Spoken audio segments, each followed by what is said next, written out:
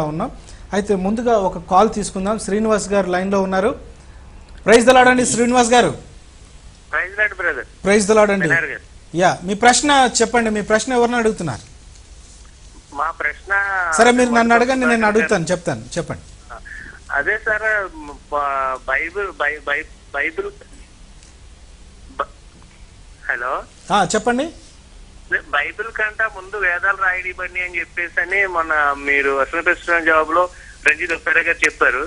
అంటే అది ఆదాం సంతతి వారే రాశారని చెప్పేసి అని ఆయన చెప్పారు. తర్వాత మీరు చిన్న క్లిప్పింగ్ చూపించారు. చిన్న చిన్నజీవి స్వామి గారి అంటే వీళ్ళకి ప్రామాణికం ఉంది ప్రామాణికం ఉందని చెప్పేసి అన్నారు. అంటే ఇది మేము వెనకాల వచ్చింది అనుకోవాలా? లేకపోతే ముందు వాళ్ళు రాశారని చెప్పేసి అనుకోవాలి డౌట్ మీరు చెప్తారని కొంచెం అడుగుతున్నాం మీరు ఎక్కడ డౌట్ పడుతున్నారు చెప్పండి. అంటే వేదాలు ముందు రాశారని చెప్పేసి అని రంజిత్ ఉప్పారా గారు చెప్పేసి అన్నారు కదా. ఓకే.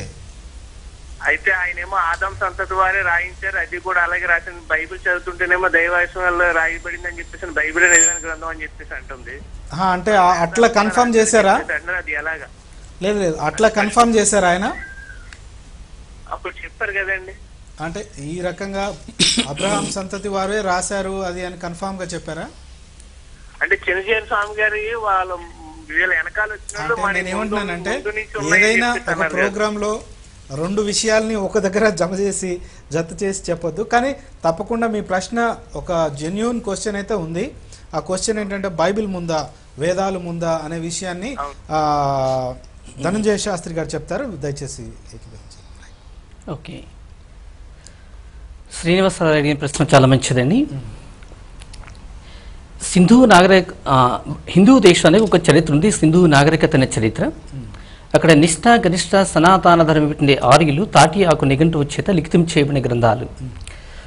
అయితే దేవుని పరిశుద్ధ గ్రంథం జగతికి పునాదులు వేయబడకమునపు సృష్టికి ఆకారం లేనప్పుడు ఆది ఎందు వాక్యం ఉన్నది. ఆది ఎందు వాక్యం ఉన్నది. ఇప్పుడు ఈ గ్రంథాలు ఎప్పుడు వచ్చాయంటే ఆర్యుల ద్వారా తాటి ఆకుపై. నిఘంటు చేత లిఖితము చేయబడిన గ్రంథాలు. ఈ గ్రంథములు మనుషుడి చేత వ్రాయబడిన గ్రంథములు. దేవుని పరిశుద్ధ గ్రంథము దేవుని వ్రేలి చేత వ్రాయబడిన గ్రంథం. అంటే ఈ గ్రంథం ఎప్పుడు ఉంది అంటే సృష్టి సృష్టికి ఆకారము లేనప్పుడు జగతికి పునాదులు వేయబడకమనుకున్నటువంటి గ్రంథము దేవుని పరిశుద్ధ గ్రంథం. ఓకే. కావున వేద గ్రంథములు ఆర్యుల ద్వారా వచ్చాయి. అంతకు ముందే దేవుని పరిశుద్ధ గ్రంథం ఉంది. ఓకే సో ఈ వేదాలన్నీ కూడా తర్వాత వచ్చినాయే అని చెప్తున్నారు. ఎస్ సార్ యాక్చువల్గా అండి అరవింద్ శర్మ గారు రాసిన బుక్స్ నేను మూడు రిఫర్ చేశాను. ఓకే ఆక్స్ఫర్డ్ యూనివర్సిటీ ప్రెస్ వాళ్ళు పబ్లిష్ చేసినవి. ఈయన అకాడమిక్ సర్కిల్స్లో రికగ్నైజ్ చేయబడినటువంటి స్కాలర్ ఓకే ఆయన బుక్లో నేను వేరే స్కాలర్స్ రాసింది కూడా చూశాను. జనరల్ కన్సెన్సెస్ ఇలా ఉందండి. ఇప్పుడు ఉదాహరణకి రిగ్వేద వరకు మనం తీసుకుంటే దానిలో సంహితాస్ పార్ట్ ఉంది మొదటి పార్ట్. ఓకే. అది fifteen hundred to six hundred BC ఆ టైంలో రాయబడినవి. ఓకే. అందులో ఉన్నటువంటి Brahmanas part thousand to six hundred BC okay. అందులో ఉన్నటువంటి అరణ్యకాసు కూడా అదే టైంలో రాయబడ్డాయి. అదే దానికి ఉన్నటువంటి ఉపనిషత్తులు ముఖ్యమైన రెండు ఉన్నాయి. ఐతరేయ ఆ, కౌశితాకి ఈ రెండు ఉపనిషత్తులు కేవలం ఆరు వందల నుంచి మూడు వందల బీసీ అప్పటికే రాయబడ్డాయి. ఓకే.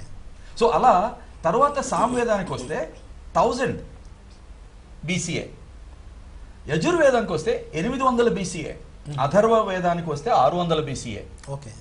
అదే బైబిల్ విషయం చూస్తే కూడా రాయబడింది సుమారు eighteen hundred to sixteen fifteen hundred BC ఆ టైంలో రాయబడినట్లు స్కాలర్స్ చెప్తున్నారు. ఓకే. ముఖ్యంగా ఓల్డ్ టెస్ట్మెంట్. ఓకే. సో ఏవి ముందు అనేది నిర్దిష్టంగా చెప్పాలి అని అంటే అకార్డింగ్ టు స్కాలర్స్ బహుశా old testament is a little older అని చెప్పవచ్చు లేకపోతే more or less around the same time రాయబడ్డాయి అని కూడా అనుకోవచ్చు. ఓకే. అయితే విషయం ఏది ముందు రాయబడింది ఏది తరువాత రాయబడింది కాదు. సత్యం ఏమిటి అనేది. ఓకే. ఇప్పుడు ఒకప్పుడు భూమి బల్లపరుపుగా ఉందని అందరూ నమ్మారు. Okay. అది చాలా పాత విశ్వాసం ఓల్డ్ టైంలో నమ్మబడింది. ఎక్కువ కాలం నమ్మబడింది అప్పట్లో. ఓకే అంత మాత్రాన భూమి గుండ్రంగా ఉంది సూర్యుని చుట్టూ తిరుగుతుంది అనేది ఒక నూట యాభై రెండు వందల సంవత్సరాలు అనుకోండి. మహాడు మూడు వందల సంవత్సరాలు అనుకోండి. ఓకే సో అది ఈ మధ్య వచ్చింది కాబట్టి తప్పంటామా? అనలేం దాన్ని తర్కంలో సమయాధారిత దోషం. సమయాధారిత వాదన దోషం అంటారు. అంటే ఏది పాతదైతే అది ట్రూత్ ఏది కొత్తదైతే అది అన్ట్రూత్ అవుతుందా? లేకపోతే కొంతమంది ఏదైతే ఇప్పుడుందో అది ట్రూత్ పాతదంతా అన్ట్రూత్ అంటారు. అట్లా సత్యాన్ని తెలుస్తారా? లేదు. వాస్తవికతతో ఏది సరితూగుతుందో అది సత్యం. ఓకే సో సత్యాన్ని గురించి మాట్లాడుతున్నాం కానీ కాలమానాలను బట్టి పెద్దగా సత్యం ఆధారపడి ఉండదు. Okay right exactly Yes. దీనికి కొనసాగింపుగా ప్రవచనం వెనకటికి చెప్పబడుతుంది. ప్రవచన నెరవేర్పు ముందుకు నెరవేరుతుంది. ఓకే. కదండి? ముందు చెప్పబడింది వెనక చెప్పబడింది ప్రవచనం.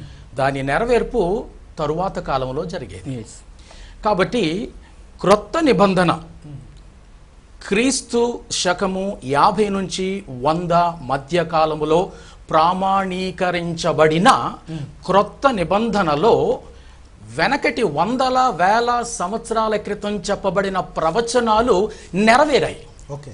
కాబట్టి నెరవేరిన వేల సంవత్సరాల క్రితం చెప్పబడిన నెరవేరిన క్రొత్త నిబంధనలో క్రీస్తు శకము యాభై వంద సంవత్సరాల కాలంలో ప్రామాణీకరించబడిన క్రొత్త నిబంధనలో నెరవేరినప్పుడు క్రొత్త నిబంధనకు ఏ ప్రాచీనత ఉంటుందంటే ప్రవచనం చెప్పబడినప్పుడు ఉన్న ప్రాచీనత ఉంటుంది. ఓకే. కాబట్టి క్రీస్తు శకము యాభై వందలో ప్రామాణీకరించబడిన క్రొత్త నిబంధన ఎప్పటిదని కాదు అర్థం అది. రమారమి ఆరు వేల పైచిలుకు ప్రవచనాల్లో మూడు వేల ఆరు వందల ప్రవచనాలు నెరవేరిపోయాయి. కాబట్టి ఈ లాగున ఈ శ్రేష్ఠ గ్రంథము యావత్ గ్రంథములో తప్ప మరి ఇక ఏ ఇతర మత ప్రామాణిక గ్రంథములో ఇన్ని ప్రవచనాలు లేవు అన్ని నెరవేర్పులు లేవు. కాబట్టి ఇందాక ప్రియులు చెప్పిన ప్రకారంగా ఏది పురాతనమైనది కాదు. పురాతనమైన వాడు దేవుడు. ఆ దేవుని గురించి బైబిల్ ఓపెనింగ్ స్టేట్మెంట్ ఇచ్చింది. In the beginning God has created the heavens and the earth